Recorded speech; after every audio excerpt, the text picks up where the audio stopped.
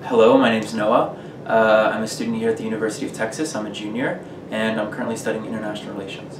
Uh, مرحبا اسمي نوح جنوفيسي وأنا من مدينة أوستن في تكساس وكمان أنا طالب بجامعة تكساس وهلا بدرس دراسات دولية.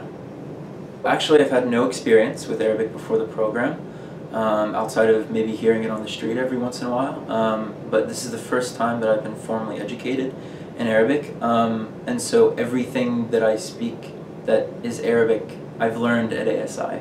Um, so everything. I actually just returned uh, from spending a year abroad in Paris. Um, a day before starting ASI. Um, and so as of right now I speak English, obviously, um, and French, and uh, that's another main reason why uh, Arabic has been interesting for me because I think that tying English, French, and Arabic all together makes a nice um, trio as far as accessibility goes with Europe, uh, the Middle East, and also Africa. And as far as recommendations for anyone who would be interested in joining ASI, I would definitely say, first of all, do it.